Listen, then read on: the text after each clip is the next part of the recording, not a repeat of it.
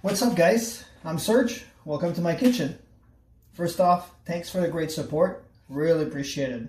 We are pretty excited to do uh, this meal for you guys on August 19th. Feast on your field. How exciting is that?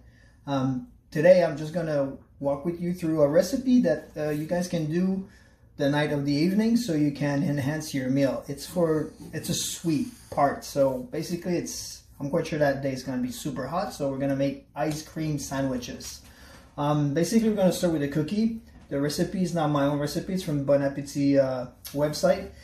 But it's basically brown butter chocolate chip cookie. The secret is to grab that butter and not burn it, but make brown butter and the all the milk content on the bottom that's all brownish. You want to add that to the cookie batter. So it's like kind of salty a little bit.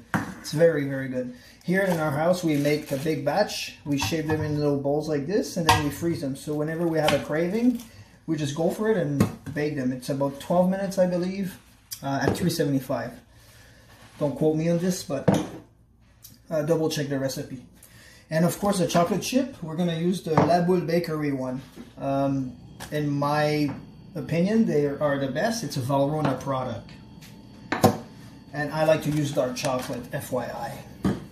Uh, but if you don't feel like uh, making cookies, you can go and support your local bakery and uh, go buy some. Here we have some from uh, Big Surprise, La Boule Bakery. They call uh, ginger cookie. They are really chewy in the middle, so I think that's a big uh, plus to the ice cream sandwiches. You don't want a, a cookie that is too hard to chew on, so it crumbles. It has to be chewy. And um, of course, we're gonna support local again with the ice cream. So basically, we are gonna use Pinocchio ice cream. Uh, you know, there's vanilla, caramel. Again, the choices are endless. You can pick whatever you want. But we were spoiled enough that um, Tom made a special one that will go well with the ginger cookie, in my opinion.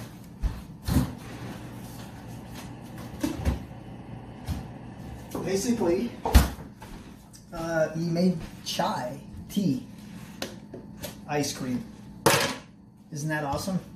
If you guys maybe ask him and poke me, DM me, uh, I will bug him to make sure he, he, put, he put that for you guys. Uh, I don't have a big ice cream scoop in my house, so we're going to use small one.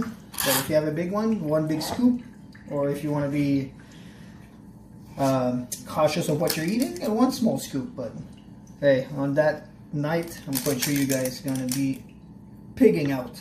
Pardon my French. we'll do three. Okay, then have the top one. Very nice cookie. Look, there's like a ginger candy in the middle. Pretty awesome. Squish it. Oh, yes.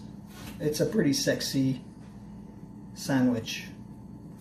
Uh, we're going to add it to our pile here. See, so basically I made a chocolate chip cookie with vanilla, there's pistachio. There's also um, espresso and uh, my wife's favorite, cappuccino.